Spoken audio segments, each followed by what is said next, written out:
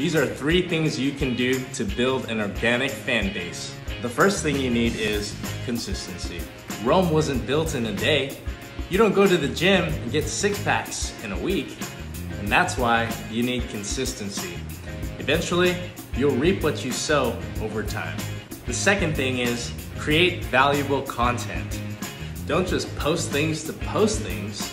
Post information that actually benefits people's lives, that makes them say, wow, this is gonna help me scale my business, or this is actually going to help me improve my life.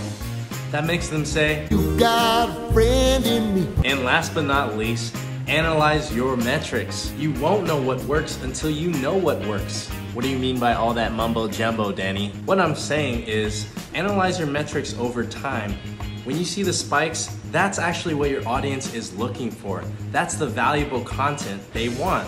So you can focus on making more content similar to that. Or you can hop on the fast track and see how Freeway Social can help you get more organic followers. It's easy as